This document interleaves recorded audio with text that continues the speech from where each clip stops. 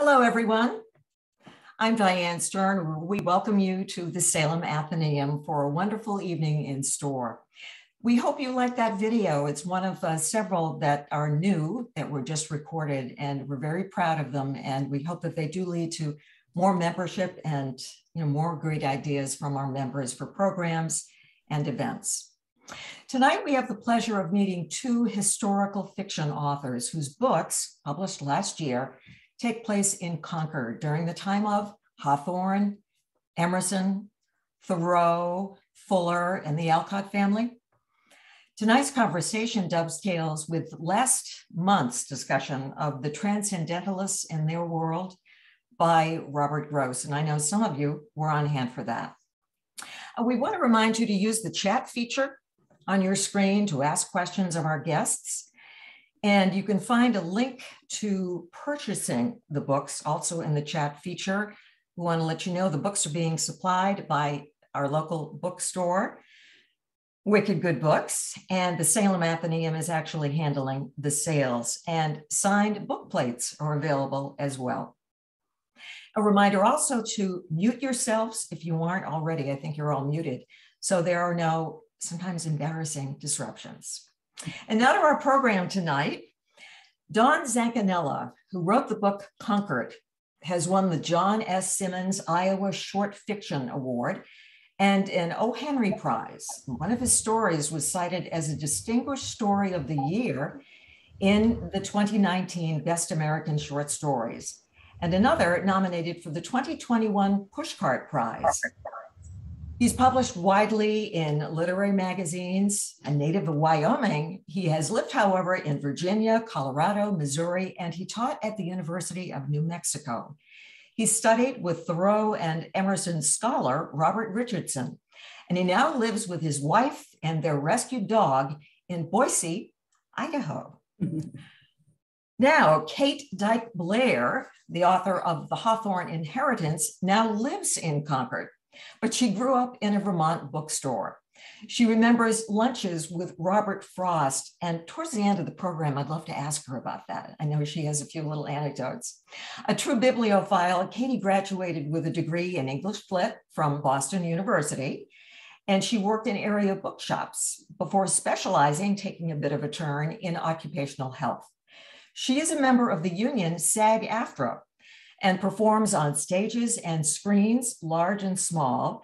And as an aside, I met Katie one year ago this month on the set of the new Netflix movie, Don't Look Up, which was filmed in Massachusetts. Perhaps you've already seen it. Katie is related to Nathaniel Hawthorne, which helps to explain at least some of her interest in her subject matter. Well, let's find out more about that and the lives of some very exceptional inhabitants of 19th century Concord with Kate Dike Blair and Don Zancanella. And welcome to you both. Hey, thank, thank you. you. Thank you, Diane. Um, Katie and I have spoken in advance and agreed that we're going to try to have a conversation and kind of go back and forth, um, sharing uh, our um, thoughts about uh, questions in common. And so um, Katie is going to start uh, us off by uh, summarizing her book a bit and also telling about the inspiration for it. So over to you, Katie. Thank you so much, Don. And thank you so much, Diane, for the lovely introduction and to the Salem Athenaeum for hosting us. Um, I'm going to try sharing my screen now. Um, all righty come up here.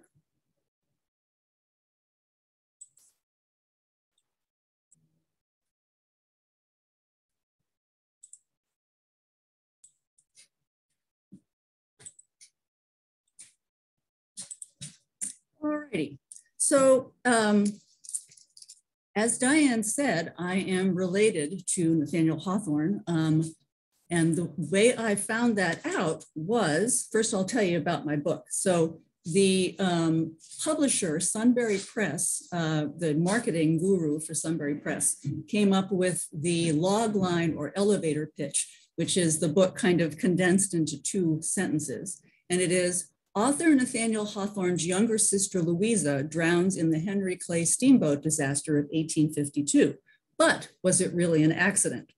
So here is Mr. Hawthorne. I think we are all familiar with him. He was, this, he was 37 when this picture was painted. Um, I am related to him because my great, great, great grand uncle, John Dike, was married to Hawthorne's aunt, Priscilla Manning. How did I find this out? From this gentleman.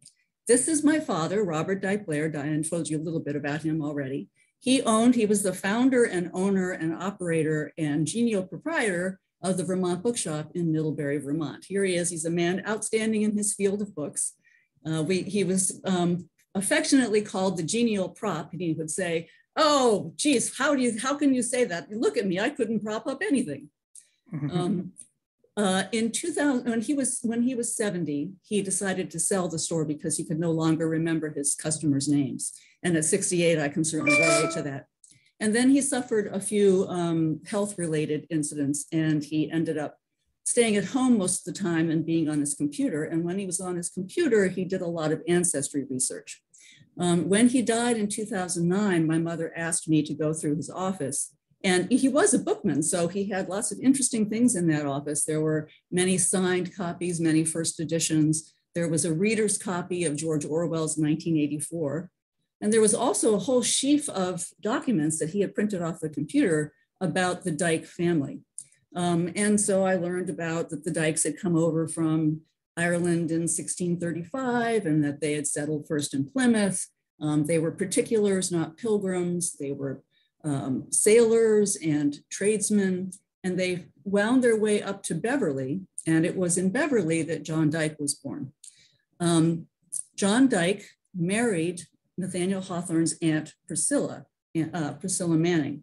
Um, but the other thing that I thought was so interesting when I was reading his research was that not only had John married Priscilla Manning, but strangely enough, he was with Louisa on that boat that we talked about just a little while ago, the Henry Clay Steamboat disaster. Um, why was she with him? Why was he with her? And where was his wife? I thought that was very interesting. And, and my father just looked at it as dry history, but I thought that was very odd. Um, I wondered where his wife was. I wonder why they had gone to uh, on vacation in Saratoga Springs, just the two of them, just John and Louisa. She was 44, he was 69.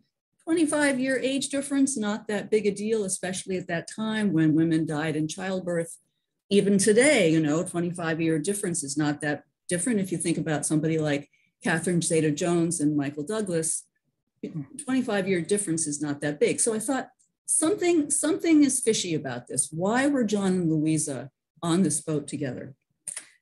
Um, the other thing that I thought was odd, here is, here is the lithograph of the Henry Clay steam, steamboat disaster. Um, if you can look carefully at this, you'll see in the front and the foreground, there are people here who are drowning because they jumped overboard because the boat itself is engulfed in flames in the, in the midsection. But if you look to the right there, you'll see that um, people, the captain had turned the boat to the shore and people were jumping off. So Louisa drowned, but John survived by jumping off onto shore. And I thought, okay, so if she was his caretaker, why were they not together? Why did he, why did she drown and he survived? And that was the inspiration for my research into it and for the story in general. So I will now stop my share here. And I will ask Don. So Don, what was the inspiration for your book? So it's very interesting, uh, Katie, because yours is so personal and mine is um, uh, a topic that I was interested in, but don't have any personal connection to at all. I grew up out west, and and the transcendentalists were always people in a book, um, not people that I had any sense of uh, of their real life uh, in, in, connection with my life. But I was a high school teacher, and when I used to talk to students about um, people like Thoreau and uh, Emerson, I think they always saw them as uh, old men with gray beards and um, I, I, would try to tell them that that wasn't necessarily the case, that those people were young once as well. And um, my novel Concord focuses on uh, Thoreau and Margaret Fuller and Hawthorne when they were younger, when they before they were the people that we think about uh, as being these sort of literary icons today. Um, I think visiting uh, Concord and Salem and, and Boston at various times um, helped make me more interested in it. And there were certain moments. Um, I remember one moment of being uh, visiting the old manse and uh, being uh, in the um, one of the bedrooms on the second floor and seeing where uh, Sophia Peabody had inscribed some words on a pane of glass with Nathaniel when they were newlyweds. Fuck. And it was one of those moments that um, that I felt kind of as if the ghosts were in the room.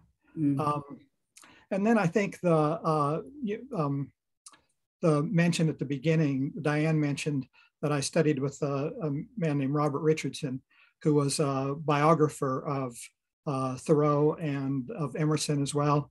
And uh, he uh, he was very good at bringing those people to life in his classroom and at um, at giving you a sense of who they were in their in their time, placing them in the time and in the the, the location and the uh, uh, where they lived. And unfortunately, he died just shortly before my book came out. Died in uh, a couple of years ago, but um, I think he was also an influence. And so I think for me, almost everything I write, I think of as kind of a mosaic of forces coming together or a mosaic of pieces coming together. Mm. And um, and so there's never one, uh, you know, one impetus or one inspiration for it. Um, I, sometimes something very small can make a difference too. I Mm. remember reading a remark from the uh, critic Malcolm Cowley saying that there aren't many there aren't many love stories in the history of American writers, but one of the ones that is definitely a true love story is Sophia Peabody and Nathaniel Hawthorne. Mm. And that stuck with me. I read that probably 15 years ago, and somehow um, when I started to write uh, this novel, that I think came back to me as well. So Mm. those are some of the things that caused me to to be interested in writing this. Um, but uh, uh, I wanted to ask one of the things I wanted to ask you, Katie, was about your sense of of history and the relationship between history and fiction, especially given the fact that so much of your book comes from personal experience and from your father's research. Uh, it's your book is it, it is a novel. It's clearly a novel. It's not a um, a memoir or a work of family history. And so I'm curious about how you make decisions about the push and pull between the authentic facts of history and the choices you make as a fiction writer. Right. Well, I, I had a point to prove. I, I really truly thought that Louisa's story needed to be told. And I, I almost felt like she was on my shoulder asking me to tell her story. Um, I don't know about you, but I personally had never heard of Louisa Hawthorne. I knew about Neff, obviously. I knew about Evie, his older sister, but I knew nothing about Louisa. I'd never, I'd never heard of her, and and you know, I didn't know anything about the Henry Clay Steamboat disaster. Um, and so I, there was a part of me that really thought her story should be told. And I also, as you just said, you know, love is universal. And um, for you, it was Sophia and, and Nath, and for me, it was Louisa and John. I really thought that they had a love story that needed to be told. So, because I because I suppose I had an axe to grind, I needed I had I, I had um, a structure that I needed to follow, which was her life, um, and I need and I and it needed to come. Uh, the, the sort of the the um, apex was um, her death on the Henry Clay Steamboat disaster, and then trying to figure out, you know, how how how el- what else to tell about her tale. So so I had to keep to those historical points, and um, one of the things that I decided to do was to instead of write about them was to write in their voices. So Louisa speaks in her journals, and she speaks in the first person present. And if you look at her journals, all of her journals have colors um, there's the red, there's the, she begins with the white journal and then she goes to the red journal and then she goes to, you know, all these different colors of the journals. And they actually, they, they actually show this, the uh, arc of her life until we have the black journal when she dies. Um, and the, the dates that I've chosen are, are very specific. For instance, her mother died in 1850 and, and so did Margaret Fuller. Those were hu huge for her. Um, uh, when she when she went through puberty and she and, and she and Nath were in the dancing um, uh, dance club and she met and she began to have those feelings for for John. You know, I wanted her to be around 12 for that. Um, when she and this is true when when I I also went to the old manse and I talked to the docents there. Louisa actually really did have dinner with Thoreau and Margaret Fuller with the Hawthornes right after they had gotten married. Um, and so I used that. And then I used Una's birth in, in 1844 as another place for them to all get together and for Louisa and John to have a, a time together. So I used those dates very specifically and I used her life very specifically. Um, now, did I fudge some things? Yes. I used the years, but um, people who know me will notice that some of the dates are birthdays, like mine and my husband's and other people's birthdays. Um, uh, so Louisa and John, when they went when they went to Saratoga Springs, actually took the stage there, but that would have taken too long, and I didn't want to write about a long stage journey, so I put I had them take the train. But they did take the Henry Clay home, or almost home. Um, so those were the kinds of, de of, decisions that I made. Was it was I, I really wanted to prove a point and then the other side of the story, of course, was John Stevens Dike, who was John's um, son, who was the narrator, sort of the person who brought everything together. His life also, uh, I, I, was very specific about the dates that I used for him when he was married, uh, when his when his when John died, all those kinds of things were very specific. Um, so that that's how I decided how to use history and how to use the dates. Um, I think in your book, I'm not sure you use dates. Is that true? You were you sort of. I, I didn't, and and it's partly to avoid, you know, being pinned down um, by historians saying that there's, you know, that this didn't happen at, at this exact date. I think right. al almost all writers of historical fiction either stretch time or compress it, or probably do a little bit of both, right. um, because otherwise you're left with great um, kind of boring chunks of time where not much happens. And and you have to and it helps with pacing to be able to do that too. So you're right you noticed that i didn't uh, include dates. And i think if if someone if a historian who knows the period uh, read my novel they would sense that it feels like it happens more quickly in my novel than it actually happened in other words, my novel feels like maybe a year or two have passed when it some of the things it, it, probably takes in closer to three or four years of time, or at least aspects of it. And that was uh, for the purpose of narrative pacing, I think. Mm. So, mm. yeah. But you, but I mean, you did some of the some similar research to mine. So yeah. I, you know, I, I certainly recognized things in your book that were also in mine, and vice versa. So Sure. Right? Yeah. yeah, but I think you always make those choices. And I think that some readers, I think that readers range in terms of how tolerant they are of um, changes that fiction writers make to history. And I think that some people really want it to be accurate or they want it to be, you know, they want to be able to say, I went to this and I read this novel and I learned about these people in this time. Uh, and my response is partly to say that if you really want to learn the history, read history. If you want to mm-hmm. learn about the, the, the real facts of a person, read a biography, that that's not exactly what a work of historical fiction does. And I'm pretty tolerant in my own reading of people who who make sometimes even pretty dramatic changes. Um, I think that uh, that the internet and you know Google and so on has kind of changed everything because I often yeah. talk to people and they'll say, well, you know, I read that uh, scene or I heard or I read um, something that you said, and so I immediately Googled it to see if it was true.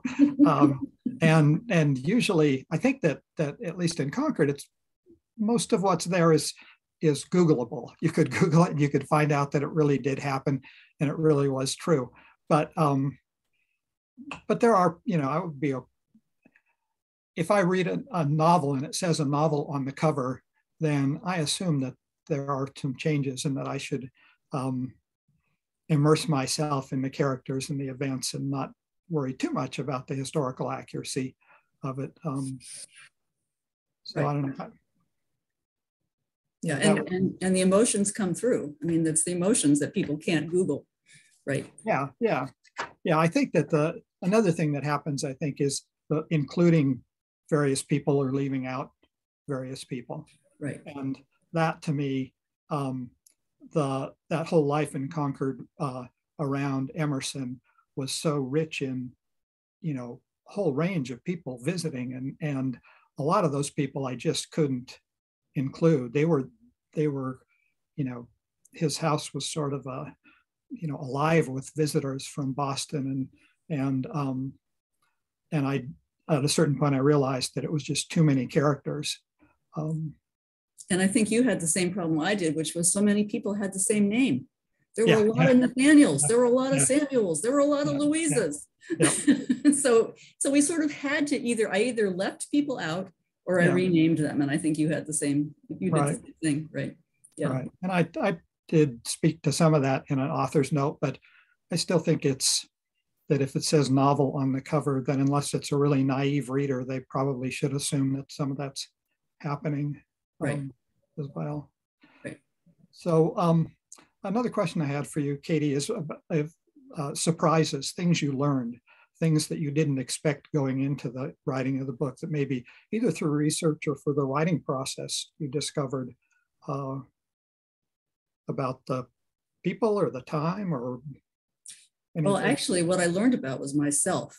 Okay. I learned that I had to be tenacious because I started this book in 2009 and I went through so many drafts and so many alpha and beta readers. Thank you to all my alpha and beta readers.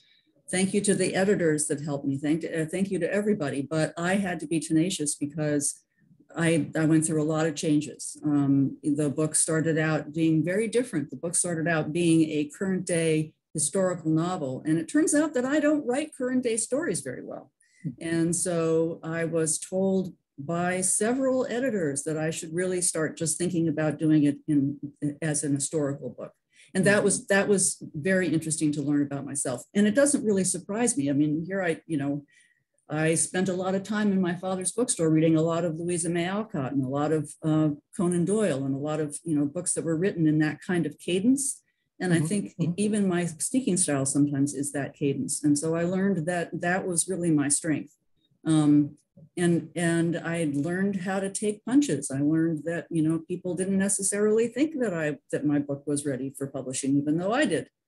Mhm. Um, I learned a lot about my my own family history. Um, I did not know a lot about either my Dike ancestry or my Blair ancestry, and those two things. Um, when it when it became obvious that I would, was really only going to write an historical novel, then I had to figure out how I was going to do that, and that's when John Dike's uh, son, John Stephen Dike, sort of raised his head and said, "Here, me, me, choose me."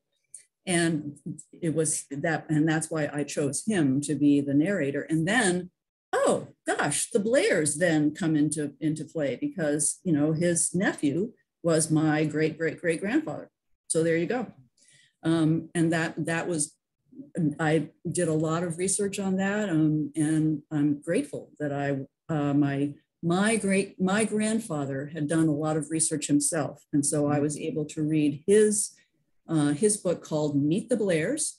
And in Meet the Blairs, I learned a lot about my Blair ancestry, and I was able to incorporate that into the book as well. Mhm. So I learned a lot. Uh, Interesting. Yeah, I think about might be- yourself? What, Yeah. what did what did you learn? one of one of the things that um, I mean, there were. I always hasten to say that I, I, I was not a scholar of 19th century American literature, and I'm still not a scholar of 19th century American literature, despite the writing of this novel. That I researched with an eye toward getting as much as I needed to write the novel, and then I stopped. And um, and I think that sometimes that people that surprises people, but I uh, I wanted to write about the, the, the youth of these characters when they were in their 20s thereabouts or and so if somebody asks me you know what happened to margaret fuller after your novel ends my response is well you know i, I may know a little bit about that but not very much because i did that's not part of the the um, the scope of what i was doing because i Mm. really approached it as a fiction writer wanting to create this world um, but uh, but there were some things that I definitely back to the question about discoveries. Uh, one of my big discoveries was the Peabody sisters, was mm-hmm. uh, Elizabeth and Mary and um, Sophia Peabody. Uh, I just, you know, I did not, I had never learned much about them, really maybe anything about them. And, and they were so interesting. And Elizabeth, Elizabeth was such a force in kind of uh, Boston life and intellectual life of that time. Um, she is maybe the, the minor character that I found most interesting to write about because uh, even though the my novel is narrated by uh, Thoreau and uh, Margaret Fuller and Sophia, um, she is kind of in the background making things happen. And so that um, very much interested me. So learning about them was very interesting. Um, I think that, uh, yeah, I mean, that was some, that was a, a, in terms of my own writing process. And uh, I think that um, I had, I mean, I've written for a long time, so I don't think that I discovered that much except the usual things about um, as you say, persistence and kind of the value of of um, of not you know not giving up and staying with the project and so on. But um, I, I also I think I I, I discovered um, the value of primary sources too because I hadn't really written anything that depended so much on primary sources on Hawthorne's mm-hmm. journals and the letters and and eventually, I, I started out by reading biographies and then kind of set those aside and started spending all my time with primary sources. And that uh, has made a difference in other projects where I've realized that's where you really need to go if you want to get the feel and the sound. And biographies can sketch in the whole arc of a life, but the specifics for fiction writing purposes are in the primary sources. Mm-hmm. Um, yeah, you, you want to hear their voices so you can, yeah, yeah. You, can you can represent them. Yeah. yeah. So, um, can you talk a little bit about your uh, own writing process, just the nuts and bolts of it, Katie? That you sure. talked about the the aspects like persistence and so on, but what about your your you know maybe more specific writing process? Um, so early on, um, my writing process really involved just kind of, um, I think what they call it is vomiting onto the page, right? Just write as much as you can. Um, and those were the things that my poor alpha readers uh, suffered through. Um, and as I got, I, I began to finesse that a little bit. What I discovered was, as you say, if I go back to, I went back to the primary sources and I read letters, family letters of the siblings of the Hawthorne siblings. I read family letters of the Dikes. Um, John Stevens Dike was was Hawthorne's best friend, and so there were a lot of, um, excuse me, there were a lot of uh, letters between the two of them, and I could hear their voices, and I could hear the humor in their letters. Um, and then I, as I said, I really felt as though I, as though I were channeling Louisa, and she really, I, I would, I would sort of just I, I would get up in the morning and I would just start writing and I would write one of her journal entries. Um, and then I would take a walk. I, I, often would walk up to, I think you've been there, to the Sleepy Hollow Cemetery, to Author's Ridge. And I would just walk up there and I would stand by their graves and I would just kind of stare at them and say, okay, what do you want me to write? And uh, I would walk back and I'd come home and the next day I would write another journal entry or I would write um, something from John or I would write about you know, somebody, I'd write in somebody's voice. Um, and at the end, when I was writing, when I when I finally decided to have um, John Stevens Dike be the narrator, that went so quickly. I wrote I wrote his chapters in about a month, and everything else had taken me a much longer time. But because I think I had his voice in my head too, from all the research that I had done about with of them, hearing them, hearing John Stevens Dike, reading all my all, all the different um, family letters and things for some reason it just clicked and I, I just had his voice in my head and i had mm-hmm. i had his uh, he you know he he suffers from migraines and he suffers from from ptsd from priscilla being so evil um, and it, for some reason that just clicked and i just started writing and i couldn't stop and i, I really truly i wrote for about a month um, and when I sent that to, I, I, had an agent at the time. And when I sent her those chapters, she said, That's it. That's it. That's great. That is your book. So, that, go ahead. So I was going to say, so so that was right. My writing process. A lot of it just had to do with listening to them. You know, I mean, I mean, I'm an actor, so I listen. I have you have to listen when you act, um, and I listen to their voices. Yeah, I think in my case, there that um, you make me think about a couple of um, moments or experiences I had. One was having uh, been a teacher, uh, the discovery or the, the, looking into the fact that both um, Henry and Margaret Fuller had been teachers. Uh, those are the first pieces I wrote, and I, I, mm. just it was kind of fun to try to capture an imagined scene of Henry in the classroom, and also then to try to capture an imagined scene of Margaret in the classroom. And so those, I think that's where I got a sense of maybe the voice that I would be writing in.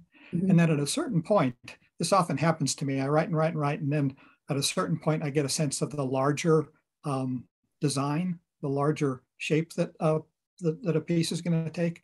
And in this case, it was uh, when I realized that it w- there were really three love stories that I could work around. Mm-hmm. There was um, Margaret Fuller's uh, kind of unrequited um, affair of the mind with Emerson, um, and um, uh, Henry's kind of competitive um, love of, Ellen, of a girl named Ellen Sewell, which is his brother uh, John was also in love with. Yeah. And then the and then the kind of um, what Malcolm Cowley called the true love story of uh, Sophia and Nathaniel. Once I got that, then it was like, oh yeah, I can see how these three love stories can can make a make a novel or they can fit together in an interesting way. Mm-hmm. So um, yeah, it's uh, interesting to see to look to kind of look back on it. Um, maybe last question before we go to the if, see if there are questions from the from the uh, people who are with us today. Uh, the last question I have for you is about uh, the relevance of your novel for contemporary readers. Um, it's, uh, I mean, historical fiction, I think, is always asked, or some people will ask that of it, like, why should I read about these events that happened so long ago? Mm. Well, um, love is always relevant, right? And I, you're, you you had your three love stories, and I have my love story. Um, love is always relevant, but for me, I I'm going to go back again to say I had an axe to grind, and I really wanted this to be. I wanted Louisa's story to be told. Um, the Henry Clay steamship disaster has been talked about. It was litigated. People knew about it. Um, and you know it's been put to rest by by most of the historians that I read. But for me, I and again I will say, you know, I wanted Louisa's story to be told, and I wanted the two of their their stories to be told, their love story to be told. Um, so I'm hoping that that's relevant today. The, the feedback that I've gotten from readers has been that they that they think that it's that it's interesting and important and are happy to know that first of all to know who Louisa Hawthorne was, especially people who live here in Concord are like, I didn't know there was a Louisa Hawthorne. Mm-hmm. Um, and what exactly, you know, was there what what was the actual truth that happened? I think, or or maybe or maybe there's a question about what the truth was, and I think that's the relevance for me. As and as I say, you know, I think I think um, even in this day and age of Twitter and Instagram, you know, the, the Hawthornes had their letters and their their journals and that's that's the that's their Instagram. So I think all, all, of those things are still relevant today. All of those relationships are still relevant. Mm-hmm. Yeah, I think in my case, the um, and maybe this goes back to to uh, Robert Richardson's classes and the way he approached the the uh, transcendentalists. Um, the sense that it that isn't it remarkable that these people were in the same place at the same time? And to what extent mm. uh, did they did they cause each other to become who they became, or to what extent was it just a historical accident that all their paths crossed? I mean, Emerson was bringing them to Concord partly, and but also they were. It's just it, eh, that these people were were um, in this place at this time seems kind of incredible, uh, and it has made me, or I, I guess I would it's made me think about collaboration and about uh, the way that there are um, it's made me more aware of the value of, of like intellectual collaboration. There was a, a, a psychologist that I worked with at the University of New Mexico. His name was Vera John Steiner. And she wrote a book called Notebooks of the Mind, which is entirely made up of essentially case studies of uh, intellectual collaboration, how people have worked together, and how, in many cases, what they produced could not have been produced if they were working independently of one another. And so, if I was trying to, um, you know, I guess sell my novel as something other than strictly a novel, as having some kind of purpose, it might be partly about that, about these people whose lives cross and something greater comes out of that, um, you know, set of interactions. But um, I'm also, I, go ahead. I was going to say, and I and I think especially with your book, you bring in the women. You know that it wasn't uh, just men; it was women too. Yeah. It was Margaret Fuller and Sophia and the, and the Peabody sisters. You know, they were all very important in, in the sort of the, if you want to look at the arc of feminism, certainly they were very important people in there. Yeah, yeah. It's surprising how many people even now are not very aware of even Margaret Fuller. I mean, I will talk to people and they'll say, I didn't know, I really didn't know anything about Margaret Fuller, um, which is kind of shocking maybe, but uh, I'm looking at the chat questions, um, Katie, and uh, let's see. Um, first one from Diane says, is there a particular reason, Don, that you were drawn to the romantic youth period of these characters, including the courtship of Nathaniel and Sophia? And uh, I think it was a sense that that was a missing, that, was something I didn't know much about and it was missing. But also, I think that the fact that they started out as teachers was interesting to me. Mm. That before they were writers, they were teachers, and and um, so it it led me in that direction, I guess. Um, that's probably. And, and I would say your depiction of, the, of their teaching and some of the horrible things that they were mm-hmm. expected to do and then refused, mm-hmm. I thought was fascinating. Oh yeah, and they were they were obviously such wonderful teachers, and the female students of uh, Margaret Fuller they adored her. I mean, mm-hmm. at least in your book. I mm-hmm. mean, it was just it was lovely. It was a great to read Thank that. You. Yeah, it was yeah. great. And then we have another question, Katie. Um, uh, uh, that says, um, going to find your books, but I'm not a believer in historical fiction because as a former professor in old school, I am not wanting to believe something about my historical friends that might mislead my understanding. Hmm. Um, how do you counter possible critics like me uh, to give this genre a stamp of approval? Well, so, I would say you know just keep an open mind and maybe you maybe you I, maybe we won't change your mind mm-hmm. but you could still read it and maybe you'll find something else that's interesting about it I, I i understand maybe you don't i mean it's very possible that there that people who read my book throw it down and say that's ridiculous mm-hmm. that's okay that's okay you know i i it was my it was my calling and just because it was my calling doesn't mean that it has to be any that, that anybody else has to believe it. It's I'm, I'm putting it out there in the world, and if someone um, wants to think it's ridiculous, that's okay.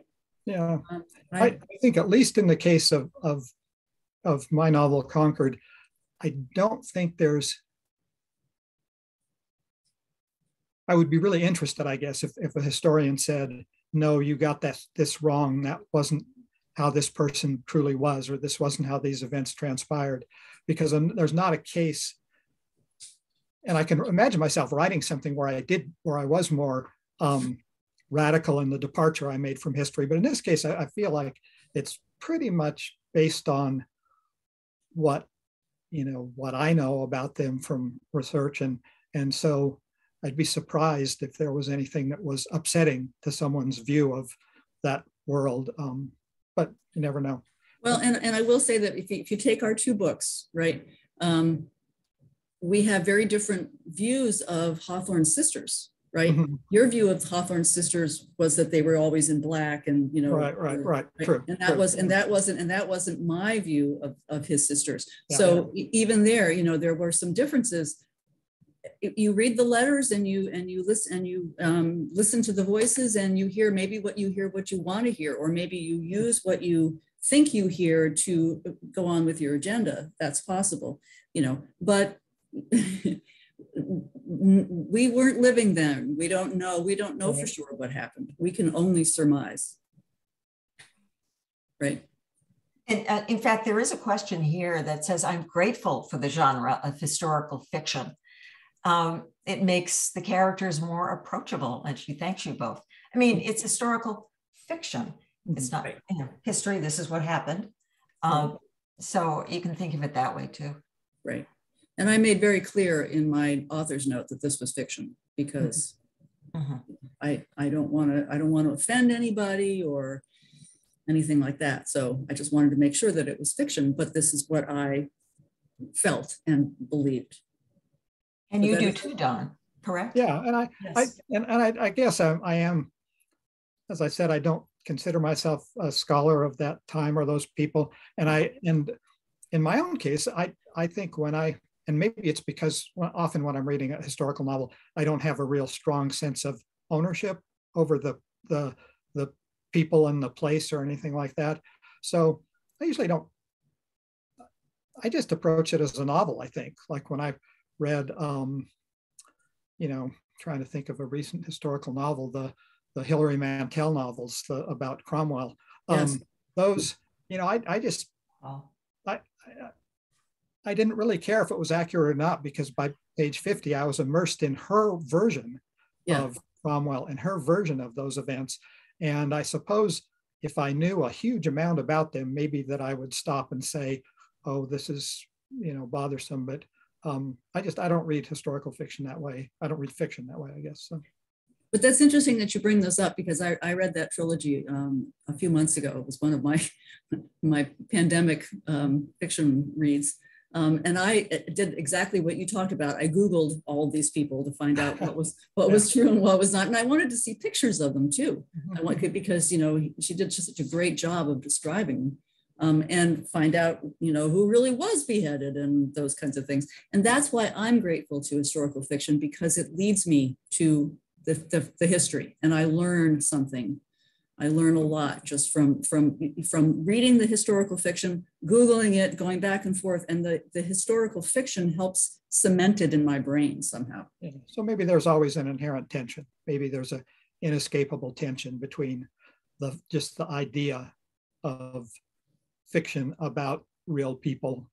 Um, I mean, just that phrase, fiction about real people. There's Mhm. an inherent tension that that you can't escape. I mean, maybe that's the real answer. Um, Yeah. Uh, Katie, there is a question here. Um, let's see. Uh, as I read it, your book, oops, I'm losing this. Where are we? Oh, yeah. Um, as I read it, I'm wondering how many, if any, of the letters in the book between the characters are transcribed from the actual letters, or are they all created by you?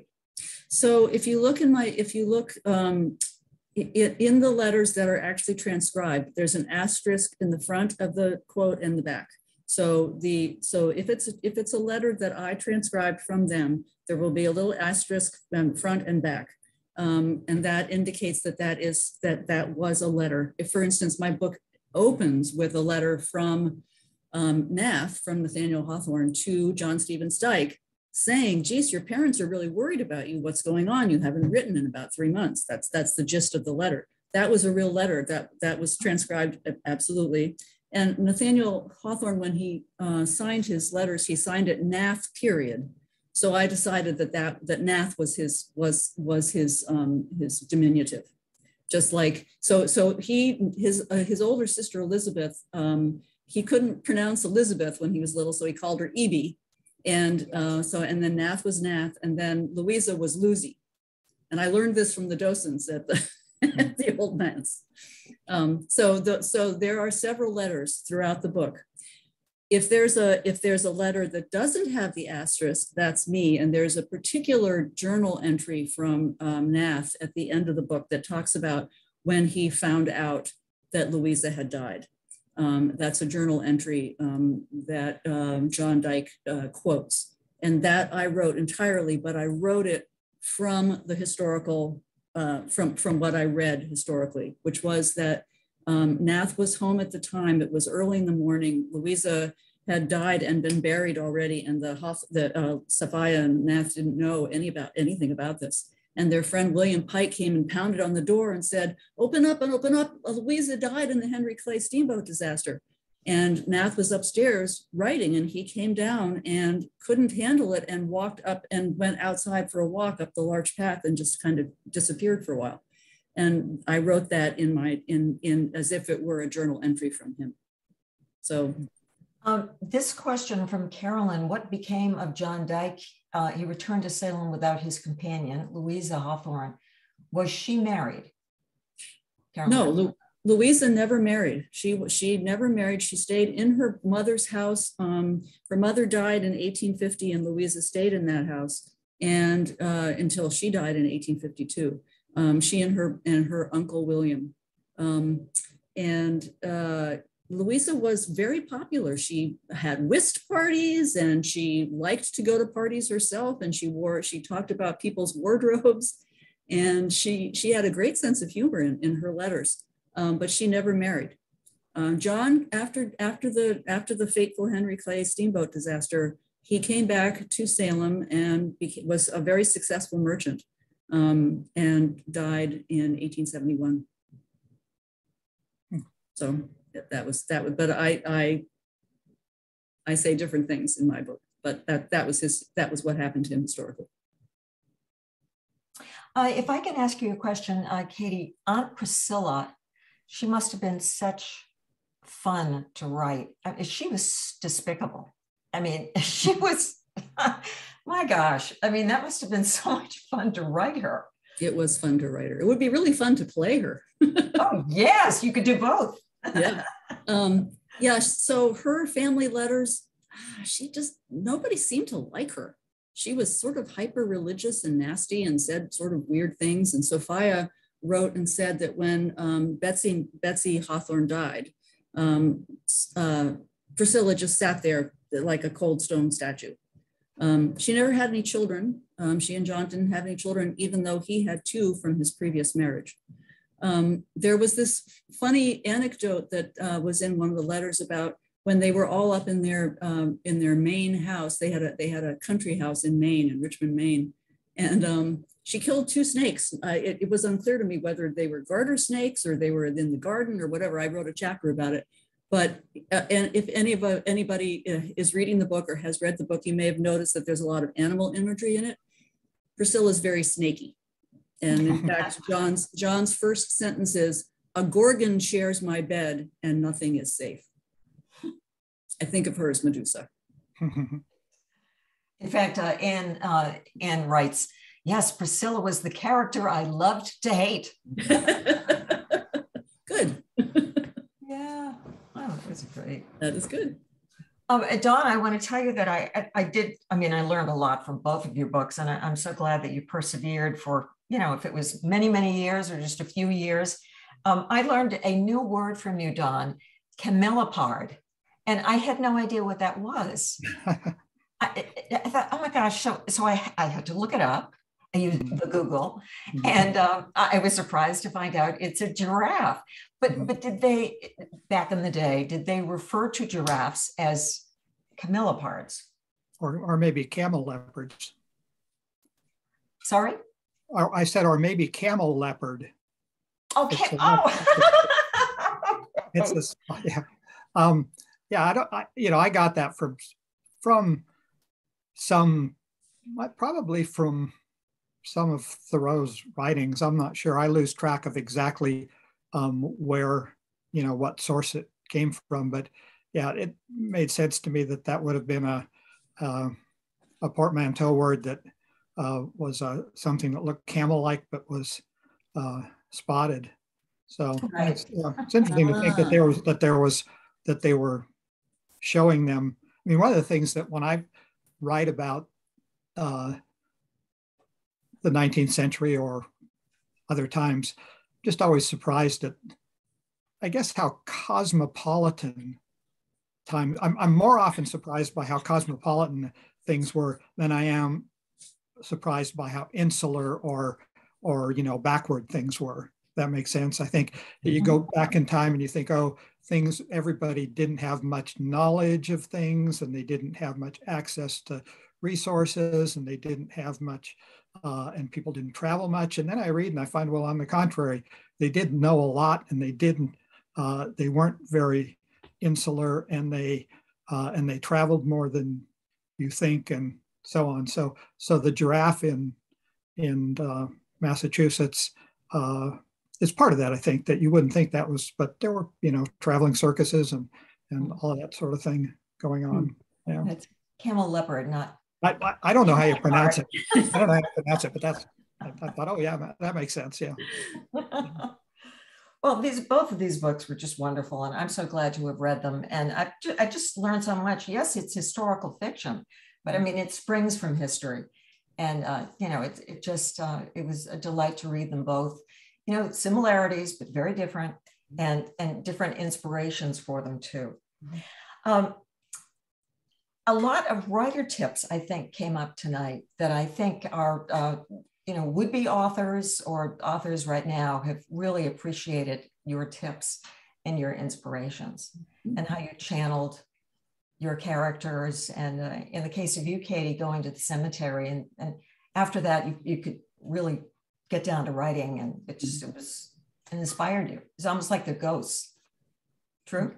It, it, indeed. It is it is more than just like. It is i mean i really felt like i was channeling her channeling uh, channeling all of them you know some, somehow somehow it was a very um, it, they wanted the story to be told. And and when and and i have to say that um, the first the first book the, my, my first book where i had the agent that didn't sell um, and there was there was a lot of I'm going to just say sex in it, and that that book didn't sell to any of the big publishers. And I think I think they didn't. I think that the people the the spirits up in uh, Authors Ridge didn't want that book to sell. and when I toned the sex down, it sold. I think they were happy. well, as I say, they're just delightful books. And these books are available. Um, actually, the supplier is Wicked Good Books in Salem, if you missed my uh, intro beforehand. So the Hawthorne Inheritance and Concord, both books are available there. They're supplying them to the Salem Athenaeum, which is handling the sales. And there are signed book plates that will be available if you have interest in that as well.